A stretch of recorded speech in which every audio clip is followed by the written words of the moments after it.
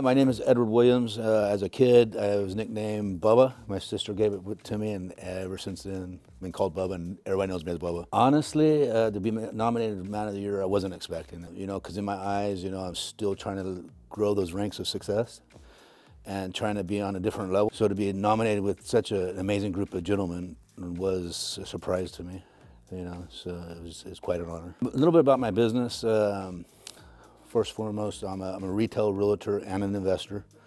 Uh, we do a lot of, a lot of uh, flips and whatnot, but I also have a team called the Elite Team with a group of amazing realtors that we coach and try to get in production. And we have some that are amazing on top, top producers. We just love people, community, and we try to use our platform as realtors, and we're blessed what we do to help people. Outside of real estate, uh, not necessarily involved in other businesses, but we did recently just start a, a, a foundation, and we collectively brought it to the table. And what, what my passion is, is youth and sports.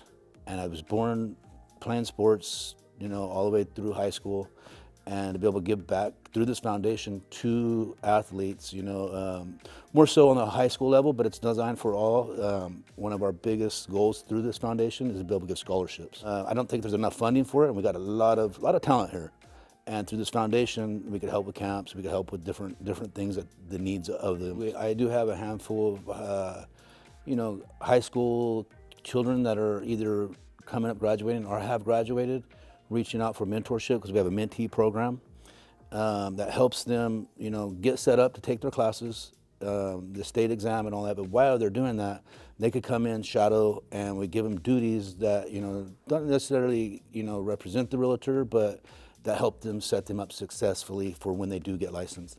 For me, uh, it's still a shock that I'm being part of things like that with people, you know, and the, the dream is coming to fruition through that and just through the, the business that we're creating amongst the community, uh, it just it still shocks me sometimes. Like, wow.